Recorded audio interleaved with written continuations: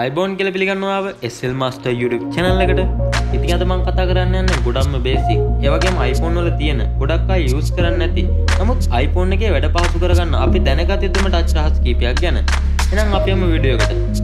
මම ඔයාලට පළවෙනි ක්‍රමය හැටියට අද කියලා දෙන්න යන්නේ reachability ගැන. ඔයා ලොකු iPhone ඩිස්ප්ලේ එකක් එක්ක ෆෝන් එක යූස් කරනවා නම් ඔයාට ඔයාගේ ඇඟිල්ලෙන් මුල් ඩිස්ප්ලේ එකම ටච් කරන්න අමාරු.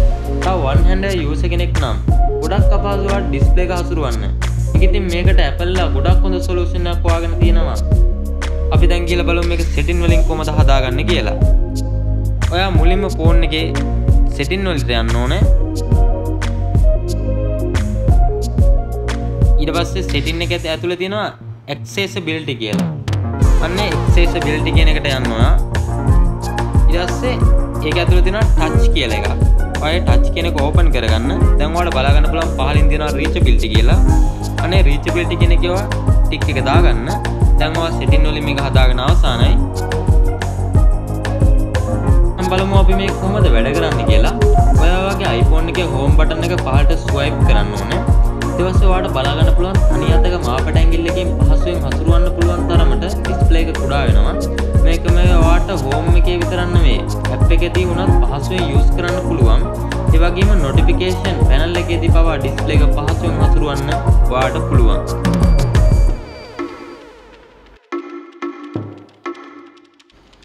එහෙනම් අද අපි යමු අපේ දෙවෙනි ක්‍රමයට.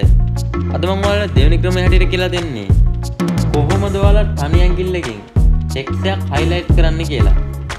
ඉතින් අපි හිතමු ඔයා මැසේජ් එකක් type කර කර ඉන්නවා කියලා. නැත්නම් මොකක් හරි ටෙක්ස්ට් එකක් type කර කර ඉන්නවා කියලා. ඔයාට මොන හරි වැරදුනොත් ඔයා කරන්නේ ඒක ආපස්සට delete කරන එක. හැබැයි ඔයා දැනගෙන හිටියද ඔයා ටිකක් press කරලා ඔයාගේ කර්ස් එක අවශ්‍ය තැනට ඔයාට මූව් කරගන්න පුළුවන් කියලා. මෙහෙම විතරක් නෙවෙයි තව ලෝන් ප්‍රෙස් එකක් වුණත් ඔයාට දීලා මේ ටෙක්ස්ට් එක අවශ්‍ය විදිහට highlight කරගන්නත් ඔයාට පුළුවන්. මම අද ඔයාලට කියලා දෙන්න යන තුන්වෙනි ක්‍රමය හැටියට තෝරාගත්තේ app switch. ඉතින් home button එකක් තියෙන කට්ටිය double tap කරාමත් නැත්නම් home button එකක් නැති full display එකක් තියෙන අය පහලින් ඉඳන් උඩට swipe කරගෙන ටික වෙලාවක් හිටියාම recent app ඔයාලට බලා ගන්න පුළුවන්. ගොඩක් අය මේවා close කරේ ඉහළට swipe කරලා. ඒ වුණාට ඔයා දැනගෙන හිටියද ඇඟිලි දෙකෙන් එකපාර app දෙකක් close කරන්න පුළුවන් කියලා. ඒ වගේම ඇඟිලි කීපයකින් ඔයාට එකපාර app කීපයක් වුණත් close කරන්න පුළුවන් කියලා. ඉතින් ඔයත් මේ ක්‍රමය පොඩ්ඩක් උත්සාහ කරලා බලන්න. ඉතින් එහෙනම් අපි යමු අද අපේ හතරවෙනි ක්‍රමයට. මම අද හතරවෙනි ක්‍රමය ලෙස තෝරාගත්තේ icons movie ගැන. icon එකක් උඩ ටච් කරලා icon movie කරගත්තට ඔයා දැනගෙන හිටියද එකපාර icons කීපයක් මෙහි movie කරගන්න පුළුවන් කියලා. ඉතින් ඔයා icons එක long press එක දුන්නාම automatically සමහර ඒ වගේ icon එක ගැස්සෙන ස්වභාවයක් එනවා.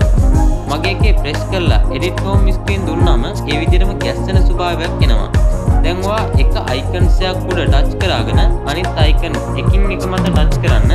දැන් ඔයාට බලා ගන්න පුළුවන් ඔක්කොම එකට ගොනුවක් වගේ වෙනවා. දැන් ඉතින් ඔයාට පහසුවෙන් වෙනත් තැනකට වෙනත් පේජ් එකකට එකපාර අයිකන්ස් මූවි කරගන්න පුළුවන්. ඒ වගේම ඔයා අවශ්‍ය කරන ඇප් ෆෝල්ඩර් කරගන්න කෙනෙක් නම් ඔයාට අවශ්‍ය කරන කැටගරිස් එක යටතේ වෙන වෙනම ෆෝල්ඩර් කරගන්න මේ ක්‍රමය ඔයාට ගොඩක් වැදගත් වෙයි කියලා මං හිතනවා. ඉතින් ඒ වගේම ඔයා මේ ක්‍රමේ කලින් දැනගෙන හිටියද? පල්ලා කමෙන්ට් සෙක්ෂන් එකේ කමෙන්ට් එකක් දාන්නත් අපිට අමතක කරන්න එපා. ඉතින් අද මම අපේ පස්වෙනි ක්‍රමය හෙවත් අවසාන ක්‍රමය විදිහට මම තෝරාගත්තේ මැසේජ් ඇප් එක ඕපන් නොකරම ඔයා යූස් කරන ඇප් එක ඇතුළතදීම එන මැසේජ් එකට රිප්ලයි දාන්න පුළුවන් කියලා ඔයා දැනගෙන හිටියද? ඉතින් මේක සරලයි. මැසේජ් එකක් එනකොට ඔයා මැසේජ් එක උඩ අත තියලා පහළට ස්වයිප් කරන්න. දැන් ඔයා රිප්ලයි එන තැන ටච් කරලා ඔයා මැසේජ් එක රිප්ලයි දාන්න පුළුවන්. ඉතින් ඔයා මේ ක්‍රමෙත් දැනගෙන හිටියද? පල්ලා කමෙන්ට් සෙක්ෂන් එකේ කමෙන්ට් එකක් දාන්නත් අමතක කරන්න එපා. ඉතින් ඔයා මේට අමතරව තවත් ක්‍රම දන්න ඕන නම් පල්ලා කමෙන්ට් සෙක්ෂන් එකේ ඒවත් කමෙන්ට් කරන්න. ඒ වගේ මේ වීඩියෝ එක වටිනවා කියලා හිතනවා නම් තව කෙනෙක්ට බලනවා ෂෙයා කරන්න. ඒ වගේම අපේ YouTube channel එක ඔයා subscribe කරන්නත් අමතක කරන්න එපා.